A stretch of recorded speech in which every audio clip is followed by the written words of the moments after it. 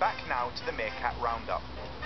To prevent a deadly parasitic disease, Alessandra and Charlie have got the boys in the pen. Now they need to get these scorpion-eating mini predators to take their medicine. Dimples. So we managed to get them all into the smaller pen. Uh, as you can probably hear, they're not too happy about it. Um, and now comes the fun part. I'm going to catch them, and Charlie's going to medicate them. Good luck, Alessandra. Hi, boys. Right, who's going to be first? If I had the choice to pick between doing this with the meerkats or the lions, I think the lions would probably be more cooperative. Got Pipsqueak here. Open your mouth. Good boy. That wasn't too bad. Here we go. Good boy. Who's next?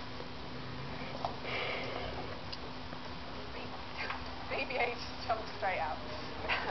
we'll grab him in a second. BB-8 uh, tried to evade his dose and has jumped straight into the medicated side. Luckily, we know who he is.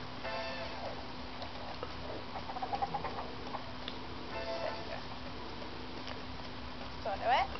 Go. Thank you. okay. That's still BB-8, yeah. Stay up. Thank you. He's the one that got me yesterday because I wasn't concentrating. There you go.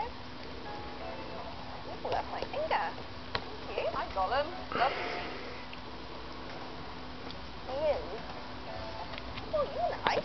Oh, you're nice. Ten down, one to go. We only have one meerkat left in that box. But as soon as we're done, they're going to be going straight outside, and they won't have to worry about this for another six months.